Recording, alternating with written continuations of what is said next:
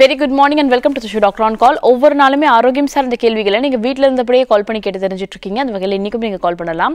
இன்றைக்கி நீங்கள் கேட்கக்கூடிய அனைத்து ஆரோக்கியம் சார்ந்த கேள்விகளுக்கும் பதில் அளிக்கிறதுக்காக ஆர்ஜிஆர் மருத்துவமனையில் டாக்டர் தேவி சரவணியா நம்ம கூட இணைஞ்சிருக்காங்க.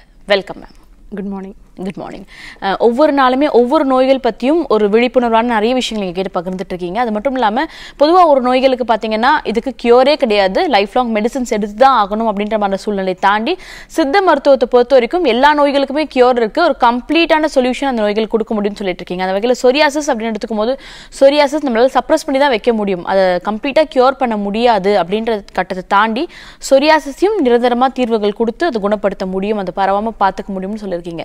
சொரியாசிஸ் எதனால ஏற்படுது?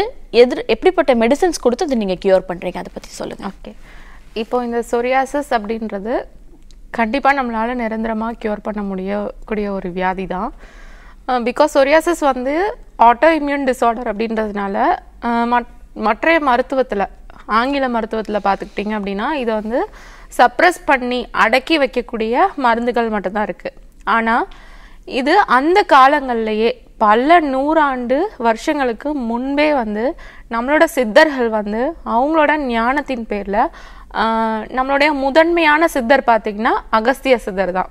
அந்த அகஸ்திய சித்தர் அகஸ்தியர் பரிபூர்ணம் நானூறு இந்த புத்தகத்தில் அவருடைய நூல்களில் பார்த்துக்கிட்டிங்க அப்படின்னா இந்த சொரியாசிஸ் வியாதி இதை வந்து காலாஞ்சகப்படை செதில் உதிர்தல் நோய் அப்படின்னு சொல்லியிருப்பாரு. இந்த வியாதி வந்து கண்ம நோயாக கூட இருந்தாலும் அது வந்து தீரும் அப்படின்னு சொல்லி அவருடைய பாட்டில் வந்து அவர் வந்து மென்ஷன் பண்ணியிருப்பார். அப்போது நம்மளுக்கு இந்த காலாஞ்சகப்படை செதில் உதிர்தல் நோய் என்று சொல்லக்கூடிய இந்த சொரியாசிஸ் வியாதி நம்மளுக்கு வந்து ஒரு ஆட்டோ இம்யூன் டிஸார்டர் தான். நம்மளோட உடம்புல இருக்கக்கூடிய இரத்த அணுக்களில் இரத்த அணுக்கள் வந்து என்ன பண்ணும்? இரத்த அணுக்களில் வந்து வெள்ளை அணுக்கள் சிவப்பு அணுக்கள். ரெண்டு கேட்டகரி நம்மளுக்கு இருக்குது மூணாவது பிளேட்லெட்ஸ் நம்மளுக்கு இருக்குது அப்போது நம்மளுக்கு அந்த வெள்ளை அணுக்கள் தான் நம்ம உடம்புல வந்து நோய் எதிர்ப்பு சக்தி சம்மந்தமாக இருக்கக்கூடியது. வெள்ளை அணுக்கள் மட்டும்தான். அந்த வெள்ளை அணுக்கள் வந்து என்னாகும்? ஒரு சில பேர்த்துக்கு அதிக அளவில் இருக்கும். ஒரு சில பேர்த்துக்கு குறைந்த அளவில் இருக்கும். எப்படினாலும் ஒரு சில பேர்த்துக்கு இருக்கும். அந்த வெள்ளை அணுக்கள் வந்து என்ன ஆகும் அப்படின்னா தன்னுடைய உடலில் இருக்கக்கூடிய செல்ஸே வந்து வெளியே இருக்கக்கூடிய ஒரு ஃபாரின் பாடி அது நம்மளுக்கு தேவையில்லாத ஒரு பொருள் அப்படின்னு நினச்சிட்டு நம்மளோட உடம்புல இருக்கக்கூடிய செல்ஸை வந்து நம்மளுக்கு தாக்க ஆரம்பிக்கும். அப்படி தாக்கும்போது தான் நம்மளுக்கு வந்து ஆட்டோ இம்யூன் டிஸார்டர் அதனால உருவாகக்கூடிய நோய்கள் தான் நம்ம ஆட்டோ இம்யூன் டிசீஸ் அப்படின்னு நம்ம சொல்கிறோம் நம்மளோட உடல் வெள்ளை அணுக்களே நம்மளோட உடலை வந்து தாக்குறது தான் நம்ம செல்ஃப் டெஸ்ட்ரக்ஷன் நம்மளுக்கு உள்ளுக்குள்ளே நம்ம உடம்புல நடக்கிறதுனால தான் நம்ம ஆட்டோ இம்யூன் டிசீஸ் அப்படின்னு நம்ம சொல்கிறோம் இதில் ஒரு வகை வந்து நம்மளுக்கு சோரியாசிஸ் மற்ற வகையெல்லாம் பார்த்துக்கிட்டிங்க அப்படின்னா நம்மளுக்கு வந்து இது நம்மளுக்கு ருமட்டாய்டு ஆர்த்ரைட்டிஸும் நம்மளுக்கு ஒரு ஆட்டோஇம்யூன் டிசார்டர் தான். அதே மாதிரி நிறைய இருக்குது எஸ்எல்இ சிஸ்டமிக் லூப்பஸ் எரித்தமேட்டஸ் அதுவும் நம்மளுக்கு ஒரு ஆட்டோ ஆட்டோஇம்யூன் டிசார்டர் தான். அதுவும் நம்மளுக்கு ஸ்கின்லேயும் சேஞ்சஸ் இருக்கும். மற்றபடிக்கு வேறு நிறைய சிம்டம்ஸும் இருக்கும். ஒரு சில பேர்த்துக்கு பெயின் எல்லாமே இருக்கும். அதுவும் நம்மளுக்கு ஆட்டோமியூன் டிசார்டர் தான். அதே மாதிரி ஃபெம்பிகஸ் வல்கேரஸ் அதுவும் நம்மளுக்கு ஆட்டோ இம்யூன் டிஸார்டர் தான். அதுவும் நம்மளுக்கு ஸ்கின்ல வந்து அலர்ஜி கிராஷஸ் இச்சிங் இந்த மாதிரிலாம் இருக்கும் படைகள் இந்த மாதிரிலாம் இருக்கும். ஸோ இது எல்லாமே நம்மளுக்கு நம்மளுடைய பாடியில் இருக்கக்கூடிய வெள்ளை அணுக்கள் நம்ம பாடியவே வந்து ஒரு ஃபாரின் பார்ட்டிகல்ஸ் நமக்கு தேவையில்லாத ஒரு பார்ட்டிகல்ஸ் அப்படின்னு சொல்லிட்டு நம்ம இதை டெஸ்ட்ராய் பண்ணுறத நம்ம ஆட்டோமியூன் டிசீஸ் அப்படி சொல்கிறோம் இப்போ இந்த சொரியாசிஸை வந்து நம்ம மனம் சார்ந்த வியாதி அப்படின்னும் நம்ம கிளாஸிஃபை பண்ணுறோம் மனம் சார்ந்த வியாதி அப்படின்னா எதனால் சொல்கிறோம் அப்படின்னா சொரியாசிஸ் வந்துச்சு அப்படின்னாலும் கண்டிப்பாக ஒரு சில பேர்த்துக்கு டிப்ரெஷன்ஸ் வந்து வர ஆரம்பிச்சிடும் முன்பே ஏதாவது ஒரு பாயிண்டில் ஒரு சில பேர்த்துக்கு டிப் டிப்ரெஷன் இருக்குது அவங்களுடைய ஹிஸ்ட்ரி நம்ம அனலைஸ் பண்ணி பார்த்தோம் அப்படின்னா ஏதாவது அவங்க வந்து அட் த மோஸ்ட் அவங்களுடைய ரொம்ப பிடிச்ச ஒரு விஷயத்த வந்து இழந்திருப்பாங்க. இல்லை ரொம்ப டிப்ரெஷனாக இருந்திருப்பாங்க. இல்லை ரொம்ப ஸ்ட்ரெஸ்ஸாக இருந்திருப்பாங்க. ஏதாவது அவங்க கூட இருக்கவங்க அவங்களுடைய சொந்த உறவினர் அவங்களோட ரொம்ப க்ளோஸாக இருக்கவங்க வந்து தவறி இருப்பாங்க. ஸோ அந்த டைம் அவங்களுக்கு வந்து மன உளைச்சல் காரணமாக அது ப்ரொலாங்டாக நம்மளுக்கு இருந்துச்சு அப்படின்னா கொஞ்சம் ஒரு சில பேர்லாம் ரிசர்வ் டைப்பாக இருப்பாங்க ஒரு சில பேர் வந்து ஸ்ட்ரெஸ்ல இருப்பாங்க ஒரு சில பேர் டிப்ரெஷனில் இருப்பாங்க. இந்த மாதிரி மன உளைச்சல் காரணம்னாலையும் மன வேதனைனாலையும் இந்த சொரியாசிஸ் ப்ராப்ளம் வந்து உருவாகவும் செய்யும். ஆல்ரெடி இருக்கவங்களுக்கு வந்து அக்ரவேட் ஆகவும் செய்யும். இப்போது இந்த சொரியாசிஸ் நம்மளுக்கு எப்படி இருக்கும்? இது என்னென்ன பாதிப்புகள் எல்லாத்தையும் நம்மளுக்கு உடம்புல ஏற்படுத்தும் அப்படின்னா இது வந்து நம்ம காலாஞ்சகப்படை. நம்ம பாடியில் வந்து ஒரு மாதிரி ஒரு ஃபங்கல் இன்ஃபெக்ஷன் மாதிரி ஒரு தோற்றத்தை வந்து நம்மளுக்கு உருவாக்கி விடும் அதே மாதிரி நம்மளுக்கு செதில் உதிர்தல் நோய் நம்ம சொல்கிறோம் அப்படின்னா ஸ்கேல்ஸ் நிறைய ஷெட் ஆகிக்கிட்டே இருக்கும். நிறைய மீன் செதில் மாதிரி அந்த சொரியாசஸ் எங்கெல்லாம் நம்மளுக்கு பாதிப்புகள் இருக்கோ அந்த இடத்துல இருந்து நம்மளுக்கு மீன் செதில் மாதிரி கொஞ்சம் கொஞ்சமாக நம்மளுக்கு உதிர ஆரம்பிக்கும். இதில் என்ன நடக்கும்? இந்த சொரியாசஸ் வியாதியில் என்ன நடக்கும் அப்படின்னா அஃபெக்டட் ஏரியாவில் பார்த்துக்கிட்டிங்க அப்படின்னா மூணு நாளைக்கு ஒருக்க நாலு நாளைக்கு ஒருக்க அதிகமாக ரேப்பிடாக ஸ்கின் ப்ரோலிஃபரேஷன் ஆகி ஆகி நம்மளுக்கு டெட் செல்ஸ் வந்து நம்மளுக்கு ரொம்ப ப்ரொடியூஸ் ஆகி அது அதிகமாக நம்மளுக்கு உதிர ஆரம்பிக்கும் உதிர்ந்துக்கிட்டே இருக்கும்.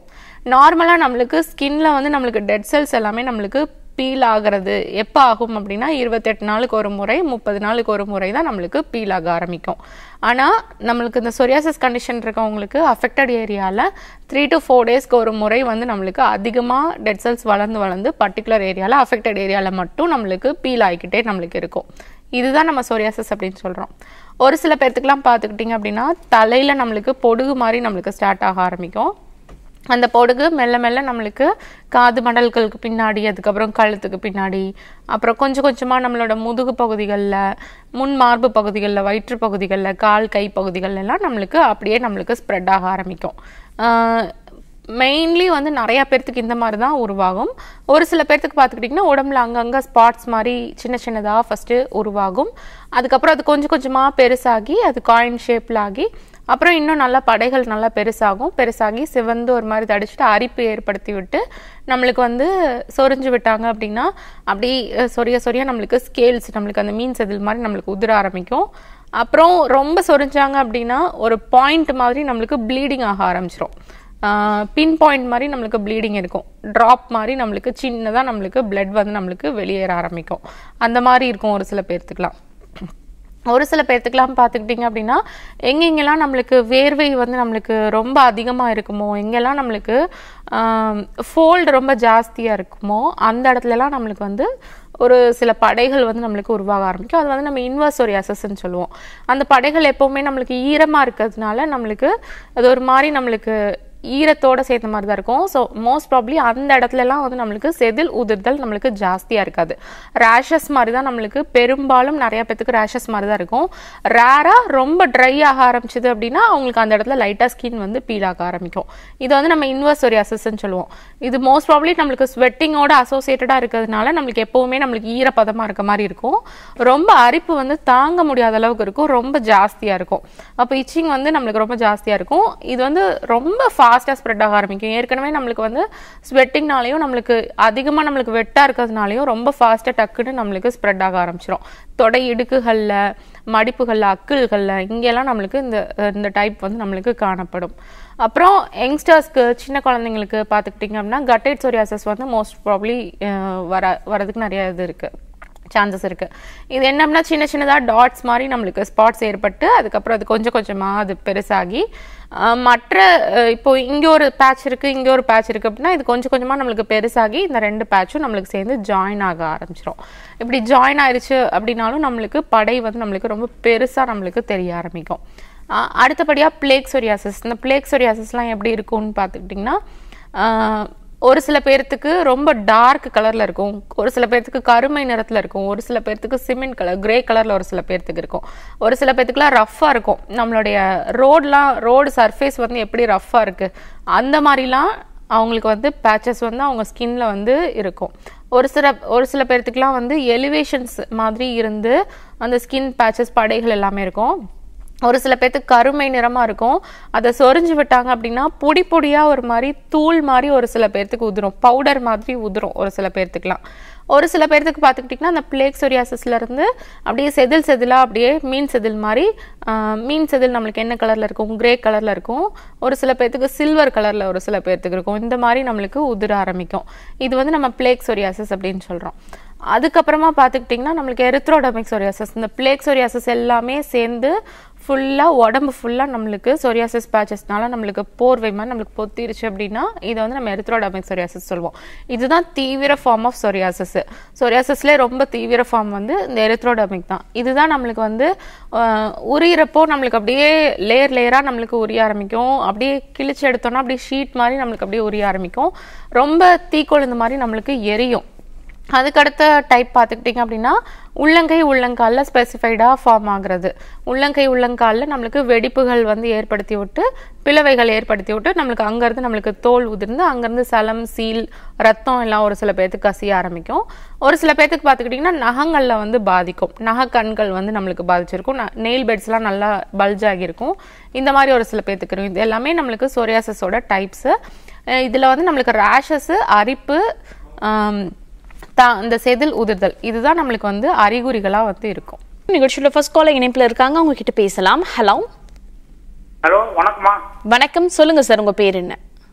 பாண்டிச்சேரியிலேருந்து சத்யநாராயணன் பேசுகிறேம்மா ஓகே இது யாருக்கான கேள்வி சார் இது எனக்காக எனக்காகத்தாம்மா நான் மூணு நாளாக ட்ரை பண்ணுறேம்மா ஓகே சார் இன்னைக்கு உங்களுக்கு இணைப்பு கிடைச்சிருச்சு. உங்களோட சந்தேகத்தை நீங்க கம்ப்ளீட்டா கேட்டு தெரிஞ்சுக்கலாம். உங்களோட வயசு என்ன சார் வயசு எழுபத்தஞ்சு வயசுமா. ஓகே பேசலாம் சார் டாக்டர் இணைப்பில் தான் இருக்காங்க. ஐயா வணக்கம். வணக்கம்மா சொல்லுங்க. சுகர் வந்து சுகர் வந்து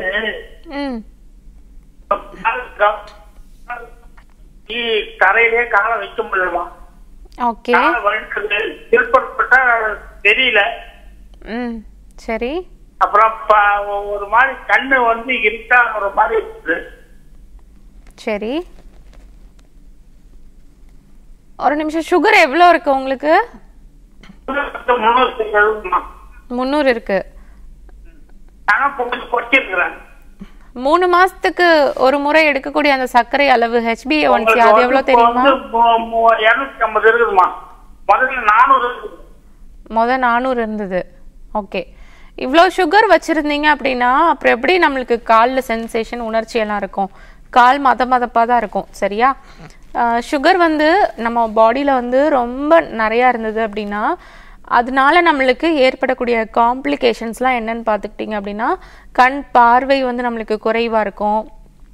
பல் ஒரு சில பேர்த்துக்குலாம் சீக்கிரம் வந்து நம்மளுக்கு ஆட ஆரம்பிச்சிரும். ஈரில் ஃபுல்லாக நம்மளுக்கு ப்ளீடிங் வந்து நம்மளுக்கு ஏற்பட்டு கம்ஸ் ஃபுல்லாகவே நம்மளுக்கு வீக் ஆக ஆரம்பிச்சு பல் ஆட்டம் வந்து பல் கூச்சம் பல் ஆட்டம் எல்லாமே சர்க்கரை வியாதினாலையும் நம்மளுக்கு ஏற்பட ஆரம்பிக்கும். அப்புறம் பார்த்துக்கிட்டிங்க அப்படின்னா நம்மளுக்கு கை காலில் வந்து நம்மளுக்கு உணர்ச்சி இல்லாத மாதிரி இருக்கும் மரத்து போன மாதிரி இருக்கும். ஒரு சில பேர்த்துக்குலாம் வந்து கால் கீழே தரையில் வச்சாங்க அப்படின்னா உணர்ச்சி இல்லாத மாதிரி இருக்கும். ஒரு சில பேர்த்துக்கு பார்த்துக்கிட்டிங்கன்னா ஊசியால் போட்டு நல்லா குத்துற மாதிரி வேதனை ஒரு சில பேர்த்துக்கு இருக்கும். ஒரு சில பேர்த்துக்குலாம் பார்த்துக்கிட்டிங்கன்னா அதிகமாக தாகம் எடுக்கும் அதிகமாக பசி இருக்கும் அதிகமாக ஸ்வெட்டிங் வேர்வை வந்து ரொம்ப அதிகமாக இருக்கும். வேர்வை வந்து சலசலன்னு கொட்ட ஆரம்பிக்கும். அந்தளவுக்கு ஒரு சில பேர்த்துக்கு இருக்கும். ஒரு சில பேர்த்துக்கு கண் பார்வை எல்லாமே குறைய ஆரம்பிக்கும். ஒரு சில பேர்த்துக்குலாம் புண் எதுவும் சீக்கிரம் வந்துச்சு அப்படின்னா சீக்கிரமாக ஆறாது ஒரு சில பேர்த்துக்குலாம் ரொம்ப லாங் டேர்மாக அந்த புண் வந்து இருந்துகிட்டே இருக்கும். அந்த புண் வந்து அப்படியே இருக்க இருக்க குழி புண்ணாக நம்மளுக்கு மாறி அப்படியே ஃபுல்லாக நம்மளுக்கு மசில்ஸு ஃபுல்லாக எல்லாத்தையும் அரிச்சு நம்மளுக்கு எலும்பெல்லாம் நம்மளுக்கு தெரிகிற அளவுக்கு நம்மளுக்கு புண் வந்து நல்லா ஒய்டாகவும் பெருசாகவும் நம்மளுக்கு டீப்பாகவும் ஆக ஆரம்பிச்சிடும் அழுக ஆரம்பிச்சிடும் கேங்க்ரைன் உருவாக ஆரம்பிக்கும். சைலண்ட்டாக ஹார்ட் அட்டாக் வந்து நம்மளுக்கு ஏற்பட ஆரம்பிக்கும். சுகர் ரொம்ப நம்மளுக்கு க்ரானிக்காக வச்சுட்டே இருந்தோம் அப்படின்னா நம்மளுக்கு தொடர்ந்து நம்மளுக்கு ப்ரெஷரும் எடுத்து வர ஆரம்பிக்கும். ஈரலை சுற்றி நம்மளுக்கு கொழுப்பு எல்லாமே நம்மளுக்கு படிய ஆரம்பிக்கும். இதனால சிறு சிறுநீரகம் வந்து நம்மளுக்கு செயலிழப்பு நம்மளுக்கு ஏற்பட ஆரம்பிக்கும். அதிக டைம் யூரின் போக ஆரம்பிக்கும். நைட் டைம்லாம் ரொம்ப ஜாஸ்தி யூரின் போக ஆரம்பிக்கும். உடல் எடை வந்து ரொம்ப மெல்லிய ஆரம்பிக்கும். உடல் சோர்வு வந்து ஏற்படும். இந்த மாதிரி ப்ராப்ளம் எல்லாமே நம்மளுக்கு சுகர்னால இருக்கும். ஆனால் இப்போ இந்த கை ம இந்த கை கால் மரத்து போகிறது இந்த மாதிரி நான் சொல்லக்கூடிய அந்த அனைத்து காம்ப்ளிகேஷன்ஸும் இந்த அனைத்து பிரச்சனைகளும் வந்து சுகர் நல்லா குறைய ஆரம்பிச்சது அப்படின்னா இது எல்லாமே சரியாக ஆரம்பிச்சிடும் கணையம் நல்லா ஸ்டிமுலேட் ஆகி அதில் இருக்கக்கூடிய அந்த கணையத்தில் இருக்கக்கூடிய அந்த செல்ஸ் அந்த பான்க்ரியாஸில் இருக்கக்கூடிய செல்ஸ் இன்சுலினை செக்ரேட் பண்ணக்கூடிய அந்த பீட்டா செல்ஸ் எல்லாமே நம்மளுக்கு வந்து திரும்ப நம்மளுக்கு ரெஜுவினேட் ஆக ஆரம்பிக்கும். அது நல்லா நம்மளுக்கு ரெஜிமினேட் ஆக ஆரம்பிச்சது. அதுக்கு நல்லா பிளட் சர்க்குலேஷன் நம்மளுக்கு கிடைச்சிது அப்படின்னாவே செல்ஸ் நல்லா அதனுடைய ஃபங்க்ஷன் வந்து நல்லா ஃபுல் ஃபங்க்ஷன் நம்மளுக்கு செய்ய ஆரம்பிக்கும். செஞ்சதுன்னா நம்மளுக்கு போதுமான அளவு நம்மளுக்கு இன்சுலின் வந்து நம்மளுக்கு கிடைக்க ஆரம்பிக்கும். சைட் பை சைட் நம்ம வந்து உணவு முறைகளே நம்ம மாற்றிக்கிட்டோம் அப்படின்னா கண்டிப்பாக நம்மளுக்கு சுகர் வந்து கம்ப்ளீட்டாக நம்மளுக்கு சரியாயிரும்.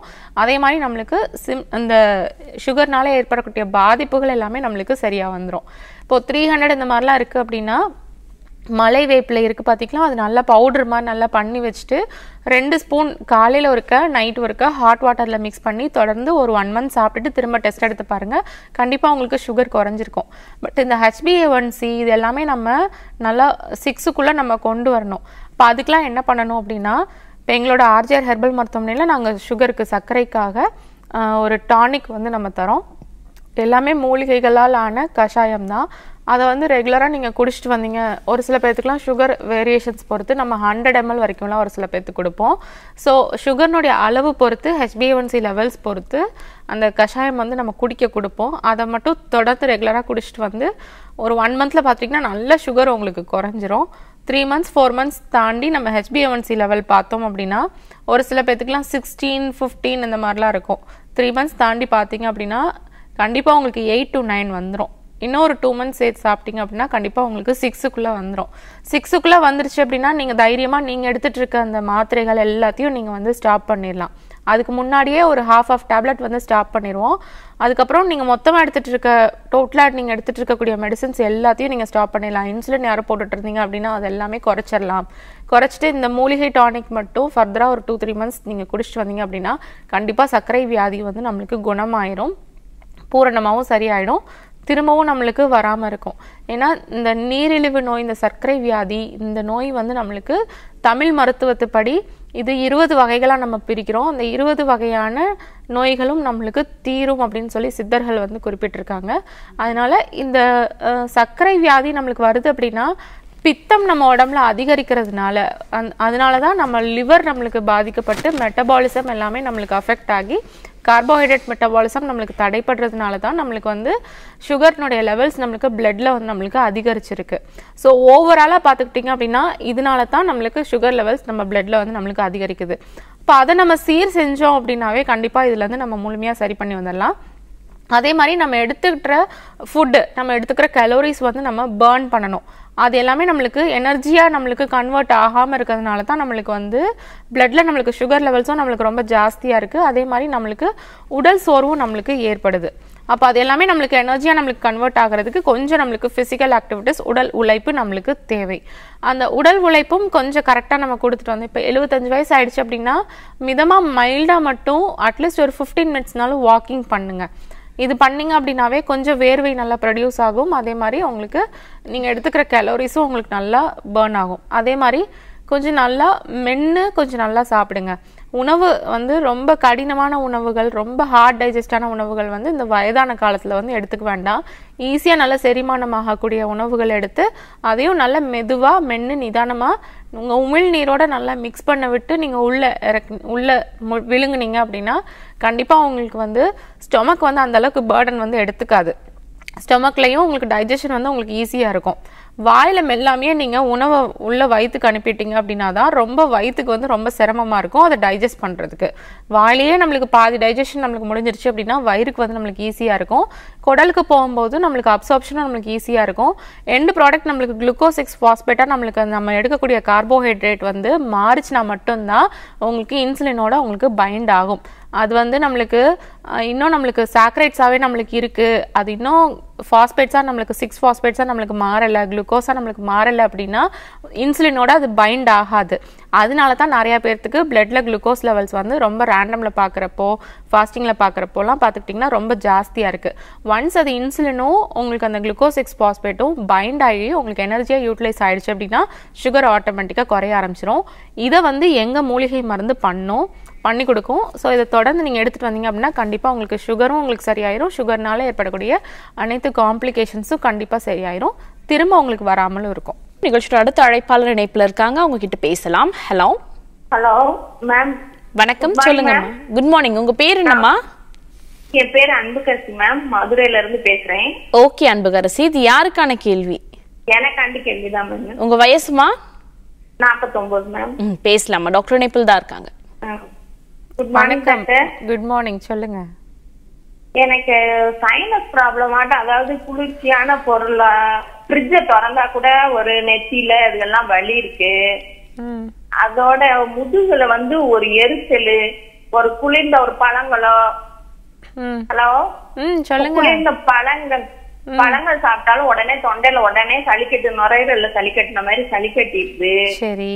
காரம் சாப்பிட முடிய மாட்டேங்குது. இது மார்பகத்துக்கு கீழே விழாக்குடி எலும்பு முதுகெலும்பு எல்லாம் எரிச்சல் ஒரு வலி வருது. இது அல்சர் ப்ராப்ளமா சைனஸ் ப்ராப்ளமான்னு ஒரு பயத்துல தான் மேம் கேக்குறேன். சரி ஓகே வலியும் இருக்கு ஒரு விழா எலும்பு. ஒரு ஒரு வருஷத்துக்கு முன்னுக்கு யூட்ரஸ் ரிமூவ் பண்ணிருந்தேன் மேம் அதுக்கு பின்னுக்கு தான் இப்படி ஒரு ப்ராப்ளம் இருக்கு. சரி ஓகே இப்போ ஒரு விழா பயம். எலும்பு இருக்கு இல்லையா? அது குத்துற மாதிரி வலிக்குதா? இல்ல மேல் வயிறுல எரிச்சல் இருக்க மாதிரி இருக்கா? இல்ல இல்ல அந்த விழாக்குடி எலும்பு ரெண்டும் எரியுது. முதுகு எரியுது. குத்துற மாதிரி பெயின் இருக்கா. குத்தல் முதுகுல வந்து குத்தல் சுருக்கு சுருக்குன்னு ஒரு அதாவது தண்ணி தலை குளிச்சிட்டோம் எது சாப்பிட்டோம் கொஞ்சம் பழங்கள் இதுல குளிர்ச்சியா எதுவும் எடுத்துக்கிட்டோம் அப்படின்னா சுருக்கு சுருக்கு குத்தல் வலியோட இருக்கு முதுகுல. சரி ஓகே இது சைனஸ் ப்ராப்ளமா ரெண்டுமே தான். ரெண்டுமே தான் இருக்கு. சரி மேம் சரியா?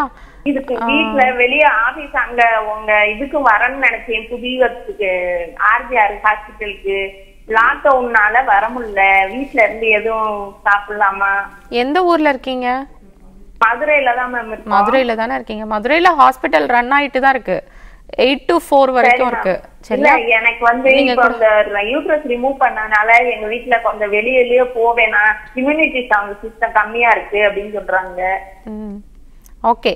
சரி பண்ணிக்கலாம். சரி, சரியா? ஆடாதோட ஆடாதோட டானி குடிங்கன்னு இப்படி ஒரு தடவை உங்க இதுல இருந்தே சொன்னாங்க ஒரு மேம் அது ஆனா ஆடாதோட கஷாயமோ டானிக்கோ எவ்வளவு நாள் எடுத்துக்கலாம்?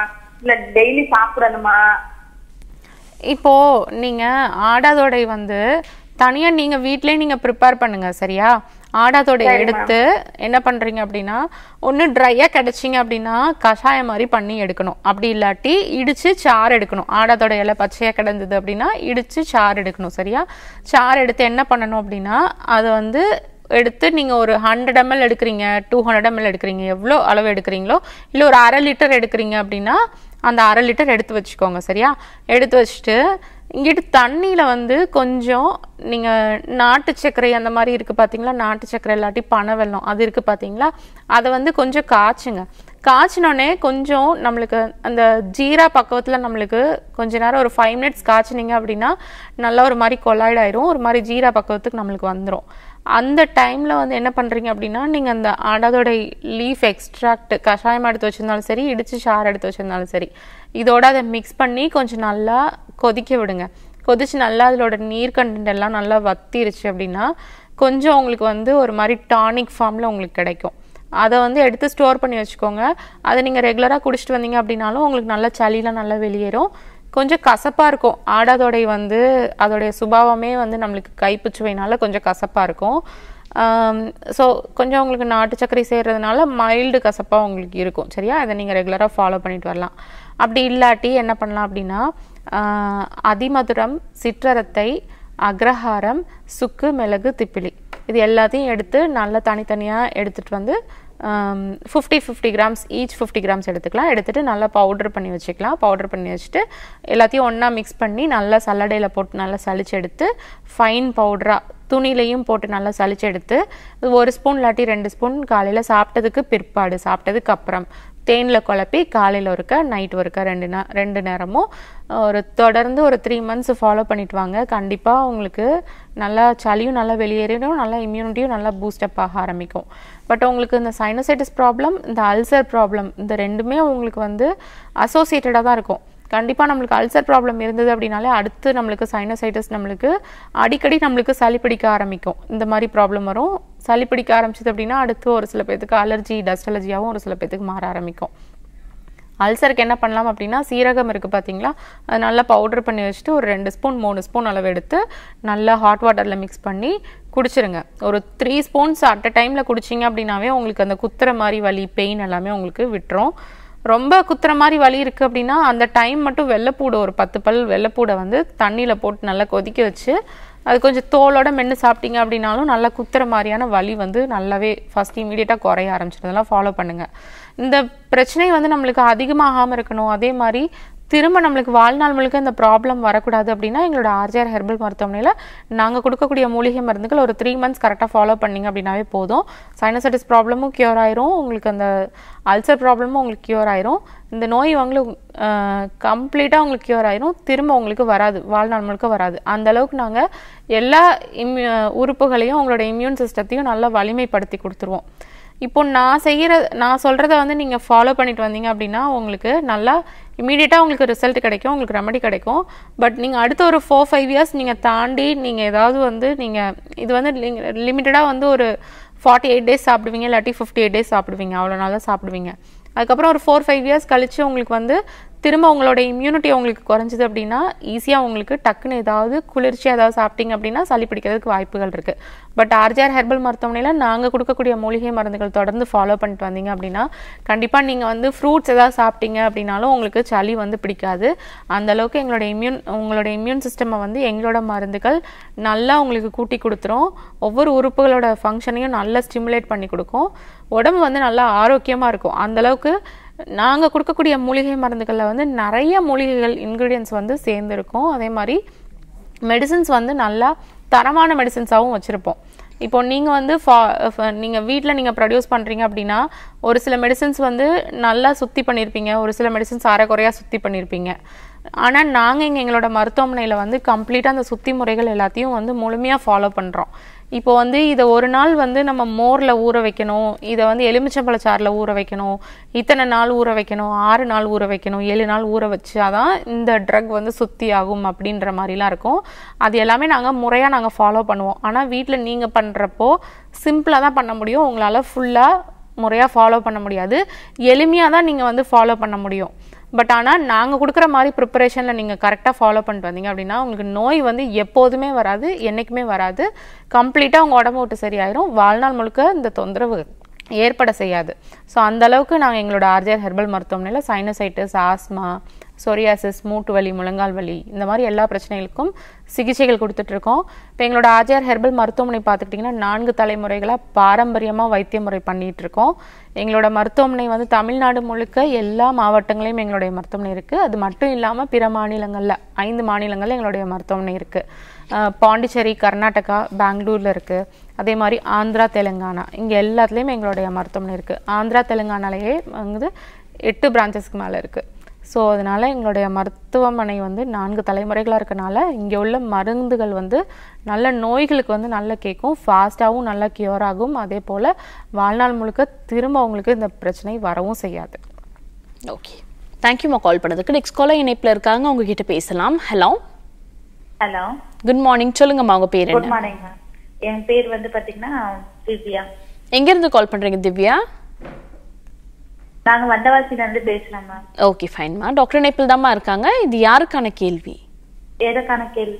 ம், பேசலாமா வணக்கம் திவ்யா சொல்லுங்க.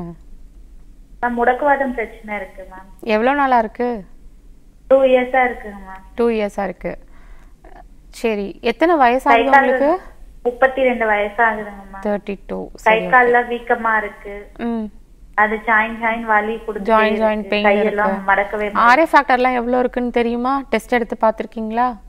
அது சரியா தெரியலைங்க மேம் ரிப்போர்ட்ல ரிப்போர்ட்டில் தான் இருக்குது சரி ஓகே இதெல்லாம் சரி பண்ணிடலாம். ஓகேவா நீங்கள் என்ன பண்ணுறீங்க அப்படின்னா முடக்கர்த்தான் கீரை இருக்குது பார்த்தீங்களா அதை ஒரு ஃபார்ட்டி எயிட் டேஸ் ஓகேவா சூப் மாதிரி எடுத்து டெய்லி சாப்பிடுங்க. கண்டிப்பாக உங்களுக்கு பெயின் வந்து நல்லா குறையும். வீக்கமும் நல்லா குறைஞ்சிரும். சரியா? இதை மட்டும் ஃபாலோ பண்ணுங்கள் ஆர்ஏ ஃபேக்டர் வந்து ரிப்போர்ட்ஸ் எதுவும் டெஸ்ட்லாம் எடுத்திருக்கீங்க அப்படின்னா ரிப்போர்ட்ஸ் வந்து நீங்கள் கால் பண்ணுங்கள் இந்த மாதிரி ஆர்ஜிஆர் ஹாஸ்பிட்டல் நம்பருக்கு வந்து நீங்கள் கால் பண்ணீங்க அப்படின்னா உங்கள் ஊர் பக்கத்தில் கிளினிக் இருக்க அட்ரஸ் வந்து கொடுத்துருவாங்க. அங்கே போய் பார்த்து ஃபாலோ பண்ணுங்கள் மெடிசின்ஸ் வந்து அங்கே டாக்டர் வந்து நல்லா கரெக்டாக உங்களுக்கு டயக்னோஸ் பண்ணி மெடிசின்ஸ் கொடுப்பாங்க. அது மட்டும் ஃபாலோ பண்ணுங்கள் மீன்வெல் அந்த டைம் வந்து நீங்கள் பிளட் டெஸ்ட் எடுத்துக்க ரிசல்ட்டு இந்த மாதிரி மட்டும் நீங்கள் எடுத்துகிட்டு போங்க. கண்டிப்பாக த்ரீ மந்த்ஸில் உங்களுக்கு அந்த RA factor CRP protein ASO titer இது எல்லாமே வந்து ருமட்டட் ஆர்த்ரைட்டிஸ் ப்ராப்ளம் இருந்துச்சு அப்படின்னா ஹையாக தான் இருக்கும். அது எல்லாத்தையும் நார்மல் பண்ணி கொடுத்துருவாங்க. மூணே மாதத்தில் உங்களுக்கு நெகட்டிவ் பண்ணி கொடுத்துருவாங்க. அதுக்கப்புறம் நீங்கள் வந்து கொஞ்சம் நீங்கள் உங்களால் நடக்க முடியாது நிற்க முடியாது அப்படின்னா நாங்கள் கொடுக்கக்கூடிய ஆயில் அப்ளிகேஷன்ஸ் மட்டும் கொஞ்சம் ரெகுலராக ஃபாலோ பண்ணிட்டு வாங்க. ஒரு ஒன் வீக் டூ வீக்கில் உங்களுக்கு பெயின் எல்லாமே உங்களுக்கு கம்ப்ளீட்டாக உங்களுக்கு விட்டுரும். நாங்கள் கொடுக்கக்கூடிய மூலிகை மருந்துகள் ஃபாலோ பண்ணீங்க அப்படின்னா. த்ரீ மந்த்ஸில் டெஸ்ட் எடுத்து பார்த்தீங்க அப்படின்னா ஆர்ஏ ஃபேக்டர் இந்த மாதிரி எல்லாமே உங்களுக்கு நெகட்டிவ் ஆகிடும் அந்தளவுக்கு நல்ல மூலிகை மருந்துகள் எங்களோட ஆர்ஜிஆர் ஹெர்பல் மருத்துவமனையில் இருக்குது முடக்குவாதத்துக்கும் வந்து மற்றைய மருத்துவத்தில் பார்த்துக்கிட்டிங்க அப்படின்னா வாழ்நாள் முழுக்க ஸ்டெராய்டு மாத்திரைகள் எடுத்துகிட்டே இருக்கணும். அப்படின் அப்படின்னு தான் நிறைய மருத்துவத்தில் பண்ணிகிட்ருக்காங்க ஆனால் அப்படி கிடையாது. இது முடக்குவாதம் ஆமவாதம்னு பேர். வயிற்றில் இருக்கக்கூடிய சில டாக்ஸின்ஸ் அந்த கேஸ் நம்மளுக்கு உற்பத்தி ஆகி அது நம்ம ஜாயின்ஸில் போய் நம்மளுக்கு தேங்குறதுனால தான் ஜாயிண்ட்டை வந்து இம்மொபைலைஸ் பண்ணி நம்மளுக்கு இந்த வியாதியை வந்து நம்மளுக்கு ஏற்படுத்தி விடுது. இதுதான் நம்ம முடக்குவாதம் ஆமவாதம் நம்ம சொல்கிறோம் இதை வந்து சித்தர்கள் வந்து முந்தைய காலங்களிலே சொல்லிட்டாங்க. நம்ம குடல்ல இருந்து தான் இருக்கக்கூடிய அந்த வாயுனால தான் இந்த முடக்குவாதம் வந்து உருவாகுதுன்னு சொல்லியிருக்காங்க. ஆனால் இப்போ ரீசன்ட் சர்ச்சஸில் தான் நம்ம நவீன மருத்துவத்தில் பார்த்துக்கிட்டிங்கன்னா இப்போ தான் ரீசண்டாக வெளிவந்த ஜேர்னலில் அதுவும் லாஸ்ட் இயர் வெளிவந்த ஜேர்னலில் தான் போட்டிருக்காங்க. இண்டஸ்டைனில் ஏற்படக்கூடிய ஒரு சில என்சைம்ஸ் அந்த நொதிகள் மாற்றத்தினால தான் நம்மளுக்கு ருமட்டட் ஆர்த்தரைட்டிஸ் ப்ராப்ளம் ஏற்படுது. அதில் இருக்கக்கூடிய சில பாக்டீரியா எமிட் பண்ணுற டாக்ஸிக்கான கேஸஸ்னால தான் அந்த முடக்குவாதம் ஏற்படுதுன்னு சொல்லி இப்போது ரீசெண்டாக கண்டுபிடிச்சிருக்காங்க. ஆனால் இதை நம்ம சித்தர்கள் வந்து முன்னாடி பல நூறு ஆண்டுகளுக்கு முன்னாடியே இதை வந்து சொல்லிட்டாங்க. அப்போது அதுக்கேற்ற மாதிரியான மருந்துகளையும் அவங்க கண்டுபிடிச்சி வச்சு கொடுத்துருக்காங்க. இதுதான் முடக்குவாதத்துக்கு முழுமையான தீர்வு கொடுக்கக்கூடிய மருந்துகள் சொல்லிட்டு. அந்த மருந்துகள் தான் எங்களோட மருத்துவமனையில் இருக்கக்கூடிய மருந்துகளை வந்து ஃபுல்லாக ஆட் பண்ணி நாங்கள் மருந்துகளை தயார் பண்ணி வச்சுருக்கோம். டானிக்காக தயார் பண்ணி வச்சுருக்கோம். அதை கரெக்டாக நீங்கள் ஃபாலோ பண்ணிட்டு வாங்க. கண்டிப்பாக உங்களுக்கு முடக்குவாத ப்ராப்ளம் வந்து கம்ப்ளீட் கியூர் கிடச்சிரும். இப்போ நீங்கள் வீட்டில் ஃபாலோ பண்ணக்கூடிய மெடிசன்ஸ் நான் சொல்கிறத ஃபாலோ பண்ணீங்க அப்படின்னா நல்லா பெயின் நல்லா குறைஞ்சு நார்மல் ஆகிடும் பட் லைஃப் லாங் இது திரும்ப வரக்கூடாது முழுமையாக சரியாகணும் அப்படின்னா எங்களோட ஆர்ஜிஆர் ஹெர்பல் மருத்துவமனையில் நாங்கள் கொடுக்கக்கூடிய மூலிகை மருந்துகள் ஃபாலோ பண்ணிட்டு வாங்க. கண்டிப்பாக சரியாயிடும் முழுமையாகவும் சரியாயிடும். நிகழ்ச்சியோட அடுத்த அழைப்பாளர் இணைப்புல இருக்காங்க. அவங்க கிட்ட பேசலாம். ஹலோ வணக்கம் மேடம் வணக்கம். சொல்லுங்கம்மா உங்க பேர் என்ன? சுமதி. சுமதி மேடம் சென்னையில இருந்து பேசுறேன். ஓகே சுமதி. இது யாருக்கான கேள்வி? எங்க வீட்டுக்காருக்கு மேடம் அவரோட வயசு? சித்தப்பையில. மூர்த்தி மூர்த்தி மேடம். அவரோட வயசு என்னம்மா? ஐம்பத்தி அஞ்சாவது மேடம். ஓகே சொல்லுங்கம்மா. அவருக்கு கல்லு சித்தப்பையில கல்லு இருக்கு மேடம். ஒரு ஃபோர் இயர்ஸ் ஃபோர் இயர்ஸா இருக்கு. ம். எவ்வளோ பெருசு இருக்கு nine nine point nine point two வரைக்கும் இருந்தது மேடம். இப்ப செவன் பாயிண்ட் டூ வரைக்கும் இருக்குது. இப்போ அப்படியே குறைஞ்சிரும். கரெக்டாக ட்ரீட்மெண்ட் ஃபாலோ பண்ணீங்கன்னா சரியா? இப்போ எங்களோட மருத்துவமனையில் madam? இப்போ எங்கள் மருத்துவமனையில் பித்தப்பை கல்லுக்கும் நாங்கள் ட்ரீட்மெண்ட் கொடுத்துட்டு இருக்கோம் சரியா? சென்னையில் எங்களுடைய மருத்துவமனை இருக்கு. ஸோ இப்போ நீங்கள் கரும்பு சாறு சுகர் எதுவும் இருக்கா? இல்லை இல்லை இல்ல மேடம். டெய்லி கரும்பு சாறு நல்லா குடிக்க சொல்லுங்க. அதுக்கே நல்லா குறைய ஆரம்பிக்கும். பித்தம் வந்து ரொம்ப அதிக அளவில் இருந்துச்சு அப்படின்னா உள்ளுக்குள்ள நம்ம பித்தப்பையில இருக்கக்கூடிய சால் பித்தப்பையில வந்து பித்த நீர்ல வந்து சால்ட் காம்பினேஷன்ஸ் தான் இருக்கும் சரியா? அது வந்து நம்மளுக்கு ஓவர் ஹீட்னால ஒரு சில பேத்துக்கு உராய்வு ஆரம்பிச்சிரும். அதுதான் நம்மளுக்கு ஸ்டோனாக ஃபார்ம் ஆக ஆரம்பிக்குது சரியா? அது வந்து நல்லா குறைஞ்சிரும். கரும்பு சாறு நல்லா குடிச்சிட்டு வந்தீங்க அப்படின்னாவே பித்தப்பையில் இருக்கக்கூடிய கல் எல்லாமே கரைஞ்சு நம்மளுக்கு வெளியேற ஆரம்பிச்சிரும். அது மட்டும் இல்லாமல் நம்ம சிறுநீரகத்தில் கற்கள் செய்கிறது பார்த்திங்களா அதுக்கு ஏற்ற மாதிரியான மருந்துகளையும் நம்ம சேர்த்து இதுக்கு நம்ம ஃபாலோ பண்ணிட்டு வந்தோம் அப்படின்னாலும் கல் நல்லா கரைஞ்சு வெளியே வரும். நல்ல நீர்முள்ளி நெரிஞ்சல் இது சார்ந்த மருந்துகளையும் நம்ம ஃபாலோ பண்ணும்போதும் கல் கரைஞ்சி வரும். கூடவே சேர்த்து இதுக்கு வந்து என்ன பண்ணணும் அப்படின்னா லிவரை நல்லா பூஸ்ட் பண்ணுற மாதிரியான மெடிசின்ஸும் நம்ம சேர்த்து எடுக்கணும். ஏன்னா லிவர்லேருந்து தான் நம்மளுக்கு பயில் வந்து நம்மளுக்கு செக்ரேட் ஆகுது. அப்போது லிவர்லேருந்து நம்மளுக்கு பயில் செக்ரேட் ஆகக்கூடிய பயிலே வந்து நம்மளுக்கு நல்ல கரெக்டான காம்போசிஷனில் இருந்தால் மட்டும்தான் அடுத்தடுத்து வந்து நம்மளுக்கு ஸ்டாக்னண்ட் ஆகாது அடுத்தடுத்து நம்மளுக்கு அந்த ப அந்த கல்லை வந்து நம்மளுக்கு ஓவர்லேப் ஆகிட்டு நம்மளுக்கு சைஸ் பெருசாகிட்டே தான் இருக்கும். அப்போது நம்ம சைட் பை சைடு நம்ம ஸ்டி லிவரையும் நம்ம பூஸ்டப் பண்ணி விட்டால் தான் கல் வந்து நம்மளுக்கு திரும்பவும் நம்மளுக்கு ஃபர்தராக நம்மளுக்கு ஃபார்ம் ஆகாது. ஒரு சில பேத்துக்குலாம் கல் ஒரு தடவை வந்துட்டு போயிடுச்சு அப்படின்னா அடுத்து திரும்ப திரும்ப ஃபார்ம் ஆக ஆரம்பிக்கும்.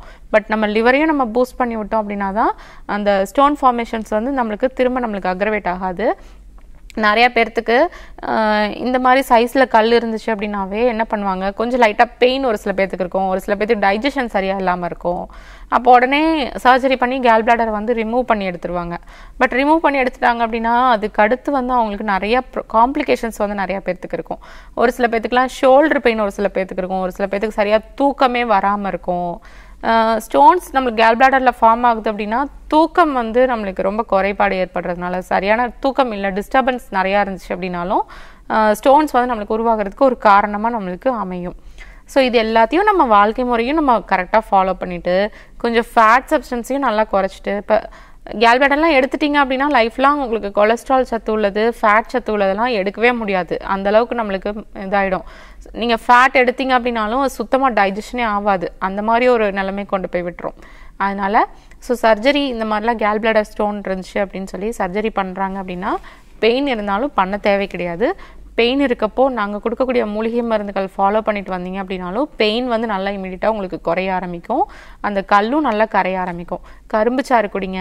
நல்லா ஆப்பிள் இருக்குது பார்த்தீங்களா ஆப்பிளும் நல்லா அந்த வேக்ஸ் கோட்டிங்கை ஃபுல்லாக நல்லா சுரண்டி எடுத்துட்டு ஒரு மூணு நாலு தடவை நல்லா ஹாட் வாட்டருக்குள்ளே டிப் பண்ணி எடுத்துட்டு அதுக்கப்புறம் அதை வந்து நீங்கள் நல்லா ஆப்பிள் இருக்கக்கூடிய அந்த கொட்டை அந்த விதையோட நீங்கள் சாப்பிட்டு வந்தீங்க அப்படின்னாலும் கேல்பிளாட ஸ்டோன்ஸ் வந்து நல்லா கரைய ஆரம்பிக்கும். அதே மாதிரி ஆர்ஜிஆர் ஹெர்பல் மருத்துவமனை சென்னையில் எங்களுடைய மருத்துவமனை டி நகரில் இருக்குது நாங்கள் கொடுக்கக்கூடிய மூலிகை மருந்துகளையும் தொடர்ந்து சாப்பிடுவாங்க. கண்டிப்பாக கேல்பிளாட ஸ்டோன் வந்து நார்மல் ஆகிடும் ட்ரீட்மெண்ட் எடுத்ததுக்கப்புறம் ஒரு த்ரீ ஃபோர் மந்த்ஸ் கழிச்சு திரும்ப நீங்கள் ஸ்கேன் பண்ணி பாருங்கள் கண்டிப்பாக உள்ளுக்குள்ள ஸ்டோன்ஸ் வந்து இருக்காது. அந்தளவுக்கு எங்ககிட்ட நல்ல மூலிகை மருந்துகள் இருக்குது ஓகே நன்றிம்மா கால் பண்ணதுக்கு. டாக்டர் இந்த ஒன் ஹவர்ல ஆரோக்கியம் சார்ந்த எல்லா கேள்விக்குமே தெளிவாக பதில் அளிச்சிங்க. தேங்க்யூ தேங்க்யூ நீங்களும் வீட்டில் இருந்தபடி ஆரோக்கியம் சார்ந்த கேள்விகள்லாம் கேட்டு தெரிஞ்சுட்டு இருப்பீங்க. இதே போல மண்டேயும் ஒரு டாக்டரோட உங்களை சந்திக்கிறேன். ஆண்டலன் கிருத்திகாட்டலிங் பேஃப் மியூ ஆல்